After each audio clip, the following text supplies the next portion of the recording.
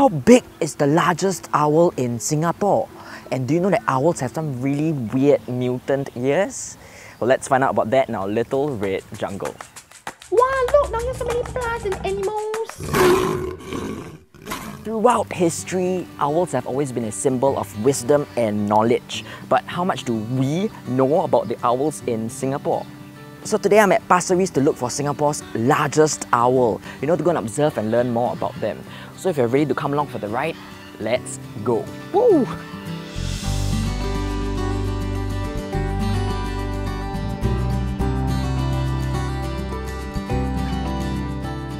So in Singapore, we actually have six different species of owls, all native, and the largest one we have is just right up there, and it's called the spotted wood owl.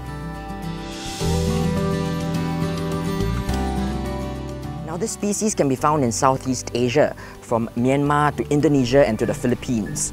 And although they are not of global concern, they are actually critically endangered locally in Singapore, with only about less than 30 individuals remaining. And this is mainly due to the cutting down of our forests, which is the main habitat of this species. Uh, but the current population that we have have adapted well to living in our nature reserves and neighbourhood parks, even with all our human activities and noise.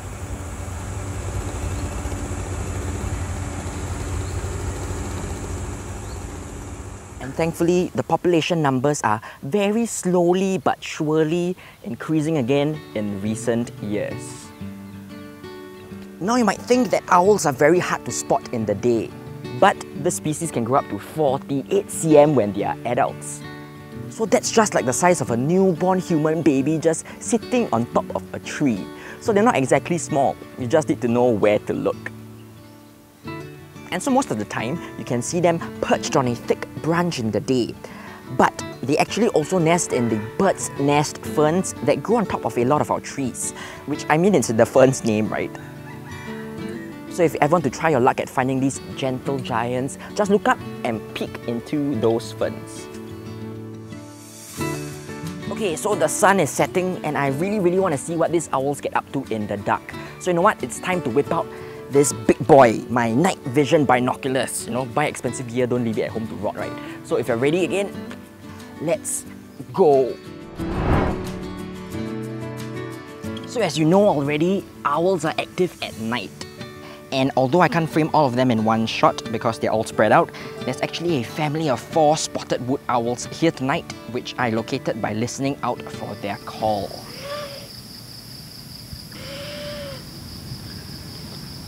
Now these owls usually hunt for rodents, small birds and large insects, which I think is what this one caught. Uh, at least it seems like an insect from this angle.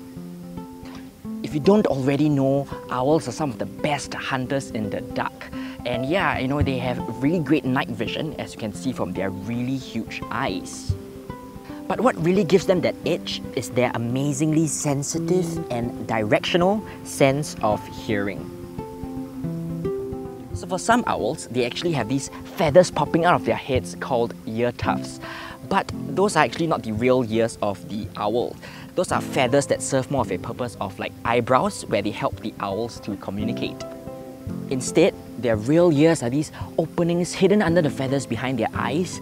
And the cool thing is, the ears of the owls are actually asymmetrical, meaning that one ear is higher than the other. And although it may seem like some weird deformity, right, it is actually a brilliant adaptation. You see, sound travels in a pretty constant speed, and now, because their ears are at different heights, sound would enter into each ear at a slightly different timing. And just like that, they can very accurately pinpoint the exact location of where a sound is coming from, even in pitch black darkness. So for a lot of animals, even like us humans, we try to do the same thing, right? Like take for example, just half an hour ago, when I was trying to locate these owls by their sound, I was like spinning around trying to see whether the sound is from this year or that year. Then I also caught myself subconsciously tilting my head, you know, just like how a dog tilts their head when they hear a new sound. And if you think about it, it's exactly what the owls are doing, making their ears go like one higher and one lower. And it's not like we're trying to consciously calculate the mathematics of how the timing of the sound entering this year and this year is different. No, we don't do it. We just instinctively tilt our heads and our brain just automatically processes the information because it works. And for the owls, they evolved through millennia to have this adaptation, where they can do the exact same thing without all the extra effort. Which means they can locate exactly where a sound is coming from, all while keeping their eyes locked on a target and without having to make big movements that would reveal their location to their prey. And just like that, by being a little weirdly designed, these mysterious owls have become one of the world's most efficient and successful nighttime predators. And yeah, although you don't see them as often as your mynas or your hornbills, I just think that it's so amazing that these owls call Singapore their home too. And although you can't see them, just remember, they will always know where you are. And this marks the end of this episode. But before we go, I'd like to give a shout out to our patrons Mrs. Chu, Mr. Chu, Spotmans, Sky Baby, Ingler, Heja Queen, Kason, Pinghu Master, Just Juice, Jablock Tango, Amodillo, Neko Sama, Uncle Sam, Amelia, Crooked Spider, Low Eli, Big Three Circles, Amy, Nemo and Angel, and Emmy. Thank you again for supporting this channel directly. And if you would like to do the same, you can find the link to my Patreon down in the description below. Do also follow me on all my other social media platforms and subscribe to watch more videos of our local ecology.